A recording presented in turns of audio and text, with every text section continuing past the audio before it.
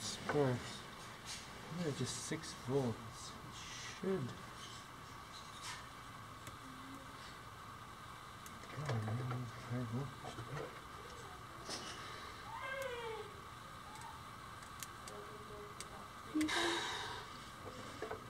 Hmm. Okay, this motor does not work. See if we can fix it.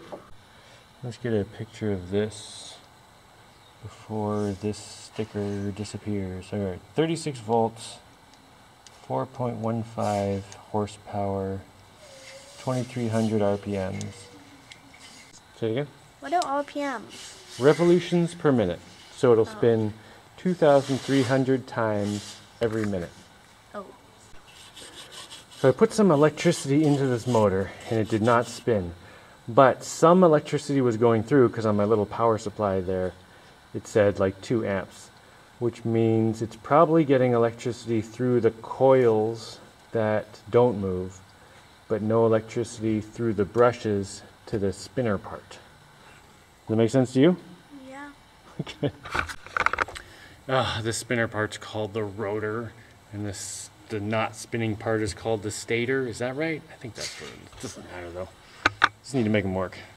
It's basically two opposing electromagnets. That's all it really is. So this thing has four brushes, carbon blocks. The electricity goes through that into that part down there. So we're just going to check that all of these move and are loose enough. Yeah, that one's got good contact. They should be they're they're spring loaded, so they're they're pressed against the moving part with a spring. And if I can like pull it back against the spring and it go it moves back easily and it stays pressed against the thing, it's probably okay. I just did. Yeah, if I lift up the spring. Is that good? Yeah. Those all look fine. Hmm, am I gonna have to start chasing the electricity to see where it's getting to and where it's not? Well, I could check this cable here, maybe. that would be super lucky if this cable had some kind of stupid issue. There's probably something inside. Alright, let's take off this cable. Well, I don't know, we'll just double check it. Wait, make sure you don't lose that nut. Keep it right here. And take off this little washer. You don't need to do it, you can do it with your hand, yeah. And get the cable off. You guys have to be really careful doing this stuff. You don't want to lose these. These are brass. They wouldn't be easy to replace. Okay, we got some little labels here. We have four contacts. We just had the wire going across here. So this says S1, S2. So I think those are for the stator, which is the part that doesn't rotate, the electromagnet that just is in the housing. And then A1, A2, I guess that's armature, is that what it is? Anyway, I'm pretty sure this is the electricity that goes into the brushes, which would make sense. It's on the piece where the brushes connect. So this goes into the brushes. So if we check the resistance across here, electricity should be able to flow pretty easily. And if we check it across here, electricity should be able to flow easily. Presuming, you know, this is just connected to the electromagnet, comes back, and this one goes through the, uh, the brushes to its, uh, the turning electromagnet and comes to here, right? So if we check across here and across here, they should both have very low resistance, like electricity should be able to flow through them. We can use our little tester for that. Man, too bad the screen isn't brighter. The camera might not be able to see it. Whatever. Okay, let's check the resistance. Right now, it's giving like a one and not really any numbers because it's like sort of like an error. Like the res- resistance is higher than it's measuring right now. So connect one to here and one there, and it the resistance should go way down to like. You connect that one. Okay, so the resistance went down to like like you just stop moving it yet. Yeah, it's like basically zero. Okay, now check the other one. Okay, well that one's going down too. So that one, that one has a little bit more resistance than the other one, but that could be where you're holding the thing. Anyway, oh, push it, push the point right in, and make sure you get good contact. Yeah. Just Just try to keep it steady. And it takes a second for the number to show up here. Yeah, it's like, all right, so electricity is getting through here and through there. So what is the problem? I wonder if maybe my power supply just doesn't have enough electricity to turn this motor even a little bit. So maybe I need to connect it to the house power for a second. Thing is, well, that the house power is 24 volts.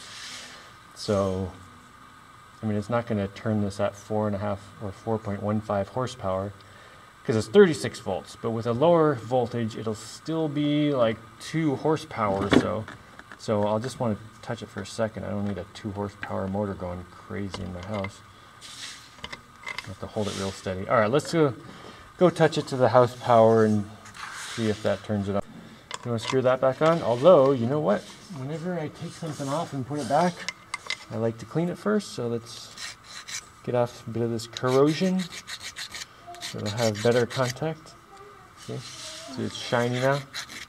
So that'll touch that shiny part and the electricity will go through easy. So you want to get this part because this part touches there, right? So you want the part that's touching. You know, I'd rather not connect this to the house power. Uh, I'd rather go out and connect it to one of the boats. Yeah, let's do that. Okay, screw that wire on there.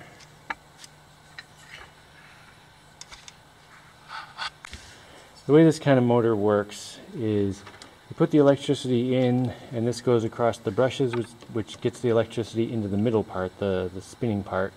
Electricity comes out here, goes through here into this part which makes the electricity go into the, the housing electromagnet and then comes out here. So with this wire here, the electricity goes through both things and energizes everything. Yeah. All right, this thing should have some electricity up here. Let me just move my foot. This? Or is it this?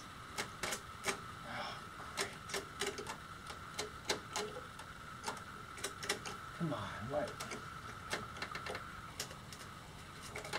Ah, it's spinning all. What is wrong with this thing? It definitely has electricity. It's making some sparks.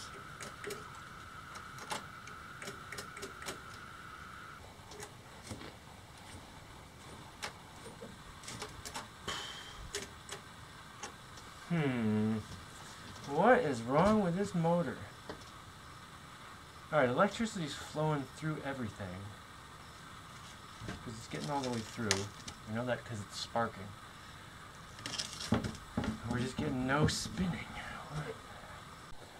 Alright, we're taking this whole thing apart. Alright, first just take all the wires off. And then we'll yeah, find whatever in here fits this and that, pull those out.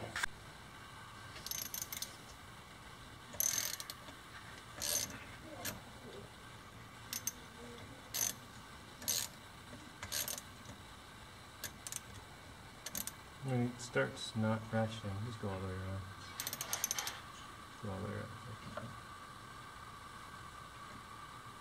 Between ratcheting. Alright, see, you go this way, it's not making the click sound.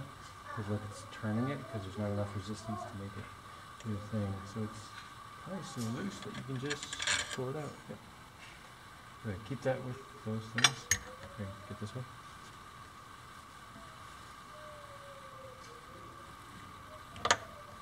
And it gets really loose. Yeah.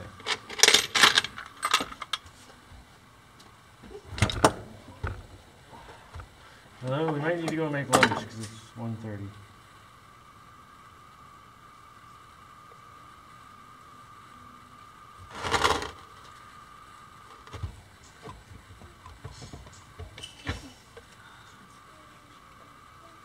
The brushes are all fine. Are they Stiff. magnet? This one, this one I broke a few years ago. I actually made a video about replacing it. No, they're not magnets. They're they're graphite. Like you know, like what's in a pencil. Yeah. It's just like a big block of pencil lead, basically. More or less. Not exactly.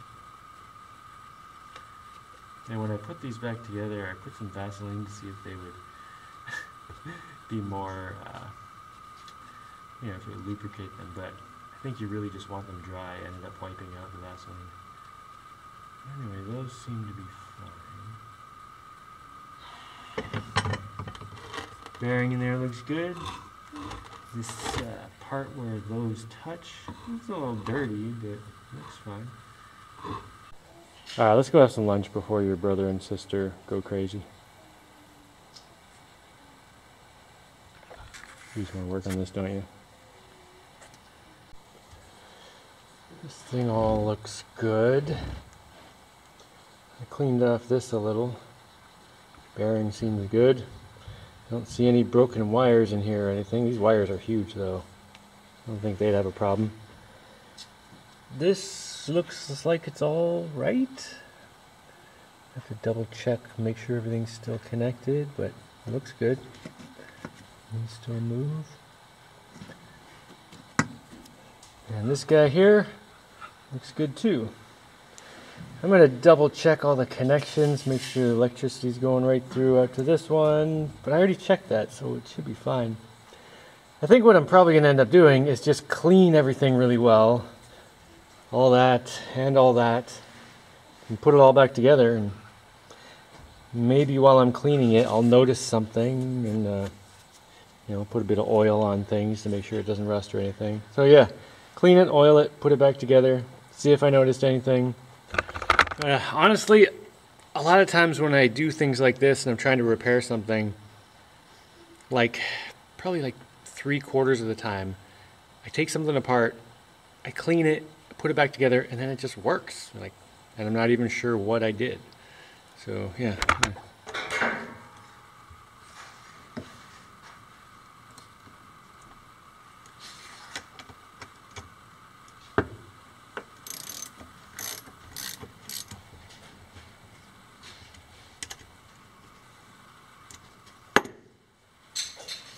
Ooh, this sounds so smooth.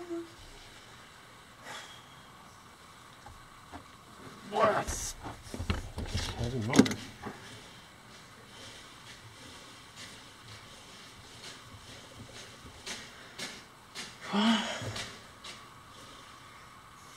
Guess There's like a four and a half percent chance that works. Okay, stick the black one and Black one, the red one.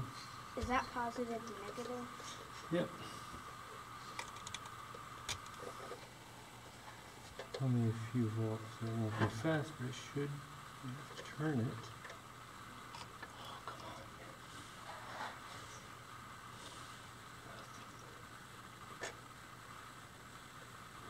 Here, take it, please.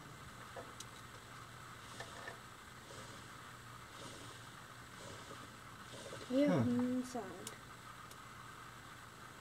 Maybe it's trying it doesn't have enough. Mess, with your wires. Let me see that. I am gonna do something. You guys are gonna want to back up for this. Um, yeah. Let's just see. Whoa! Yeah.